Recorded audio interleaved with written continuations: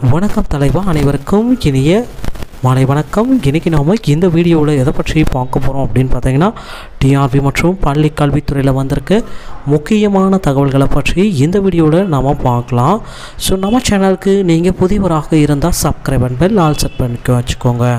So முதுகலை பட்டதாரிகளுடைய selection list வெளியீட்டில் தாமதம் ஏற்படுமா? இதை பற்றி நம்ம பார்க்கலாம்.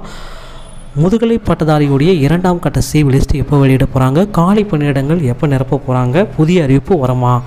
சிவி ரத்தாகுமா? அதை பற்றி எல்லாமே நம்ம பார்க்கலாம். நம்ம சேனலுக்கு புதியவராக இருந்தால் சப்ஸ்கிரைப் பண்ணிக்கோங்க. முதுகலை பட்டதாரிகளுடைய செலக்ஷன் லிஸ்ட் சிவி வந்து சென்ற செப்டம்பர் இரண்டு மூன்று நான்கு தேதிகளில் சான்றிதழ் சரிபார்ப்பு பணிகளை முடித்தார்கள். ஸோ முடித்த உடனேயே அடுத்த நிலைமை என்ன அப்படின்னு பார்த்தாங்கன்னா கம்யூனிட்டி வைஸாக வேக்கன்சிஸ் எல்லாமே பிரித்து அந்தந்த வேக்கன்சிஸ்க்கு அலோகேஷன் பண்ணுவாங்க. ஸோ இத்தனை பேர் வந்து பார்த்தாங்கன்னா இத்தனை கம்யூனிட்டியில் இந்த டிபார்ட்மெண்ட்டில் இவ்வளோ பேரை இத்தனை கம்யூனிட்டியில் எடுக்கலாம். இவ்வளோ பேர் வந்து இந்த கம்யூனிட்டியில் டாப்பர்ஸாக இருக்காங்க. இவங்களை வந்து பார்த்திங்கன்னா செலெக்ஷன் பண்ணலாம் அப்படின்ற ப்ராசஸ் எல்லாமே பண்ணுவாங்க. ஸோ இந்த செலெக்ஷன் லிஸ்ட்டு வெளியீடு கொஞ்சம் தாமதம் ஏற்படும். ஏன் அப்படின்னு பார்க்குறப்ப முதுகலை பட்டதாரிகளுடைய சிவி நியமனத்தில் எம்பிசி வின்றதை கொண்டு வந்ததுனால அந்த நியமனம் செல்லாது அந்த சிவி செல்லாது அப்படின்ட்டு கோர்ட்டில் கேசஸ் எல்லாமே ஸ்டார்ட் பண்ணதுனால ஸோ நிச்சயமாக வந்து பார்த்திங்கன்னா அந்த செலெக்ஷன் லிஸ்ட் வெளியாகிறதுக்கு படும். பட்டியல் எல்லாமே வெளியிடுவாங்க. ஸோ அந்த பட்டியலில் உங்கள் பெயர் இருக்கா அப்படின்றத பார்க்குறது தான் இப்போடைய எங்களுடைய கஷ்டமான செயல். ஸோ ஏன்னா நிறைய பேர் வந்து பார்த்திங்கன்னா மதிப்பெண்கள் குறைவு ஸோ ஆவணா வந்து பார்த்தீங்களா அவங்க க பிஜிடிஆர்பியோடைய சிவி லிஸ்ட்டில் இருக்காங்க. ஆனால் அவங்களோட அதிக மதிப்பெண்கள் எடுத்தவங்க சிவி லிஸ்ட்டுக்கு அப்பா வெளியில் இருக்காங்க. இது எல்லாமே கேட்டுட்டு தான் நிறைய பேர் வந்து பார்த்தீங்கன்னா குழப்பத்தில் இருக்காங்க. ஸோ இந்த முதற்கட்ட சிவி லிஸ்ட்டில் இவ்வளவு குழப்பம். நிரப்பப்படாத இடங்கள் கூடுதல் பணியிடங்களாக மாற்றப்படுமா? மீண்டும் சிவி லிஸ்ட்டு வெளியிடப்படுமா? அப்படின்ற கேள்விகள் எல்லாமே இவர்கள் மத்தியில் குழப்பத்தோடு இருக்குது ஸோ நிச்சயமாக டிஆர்பி வந்து பார்த்திங்கன்னா இவர்களுக்கு கண்டிப்பாக ஒரு பதில் கொடுப்பாங்க.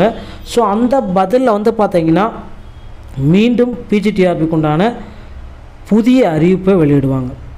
சிவிக்கு உண்டான புதிய நோட்டிஃபிகேஷன் புதிய செலெக்ஷனிஸ்ட் சிவிக்கு இவங்க எல்லாருமே தேர்வானவர்களுடைய பட்டியலை மீண்டும் வெளியிடுறதுக்கு வாய்ப்புகள் இருக்குது ஸோ புதிய காலி பணியிடங்கள் அதிகரிக்குமா?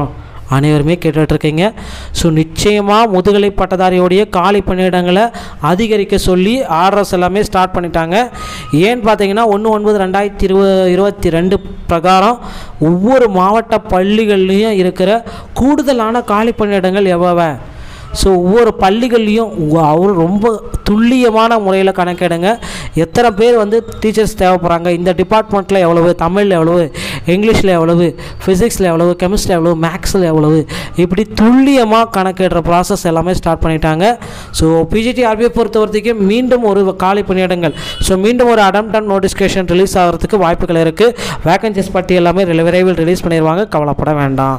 அந்த வேகன்சிஸ் பொறுத்த வரைக்கும் பார்த்தீங்கன்னா குறைவான கட் ஆஃப் இருக்கிறவங்க எல்லாமே உள்ள வரத்துக்கு நிறைய வாய்ப்புகள் இருக்குது ஸோ கவலையப்பட வேண்டாம். மீ அடுத்த சிவி லிஸ்ட்டில் நிச்சயமாக உங்களுடைய பெயர் கிடைக்கும். வரும் அடுத்து வந்து பார்த்திங்கன்னா முதுகலை பட்டதாரிகளுடைய பணி நியமனம் எப்போ நடத்து முடிப்பாங்க? ஸோ பிஜிடிஆர்பியை பொறுத்த வரைக்கும் போஸ்டிங் போடுறது வந்து பார்த்திங்கன்னா செப்டம்பர் இறுதிக்குள்ளார நாங்கள் போட்டு முடிப்போம் அப்படின்னு அமைச்சர் அன்பில் மகேஷ் பொய்யாமொழி அவர்கள் குறிப்பாக சொல்லியே இருக்காரு ஆனால் செப்டம்பர் மாதத்தில் இன்னும் ப்ராசஸே பண்ணலை. கோர்ட்டுடைய கேஸ் வந்து ஒன்று கையில் இருக்குது இது எல்லாத்தையும் எதிர்கொள்ள முடியுமா டிஆர்பி அப்படின்றது சந்தேகமாக தான் இருக்குது ஸோ நிச்சயமாக செப்டம்பர் இறுதியில் பணி நியமன ஆணை வழங்குறது வாய்ப்புகள் குறைவு.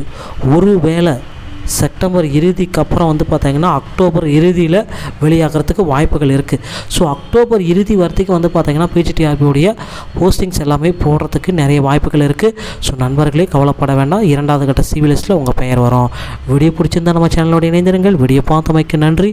அடுத்த வீடியோவில் இன்னொரு செய்தியோடைய உங்களை சந்திக்கிறேன். நன்றி. தேங்க்யூ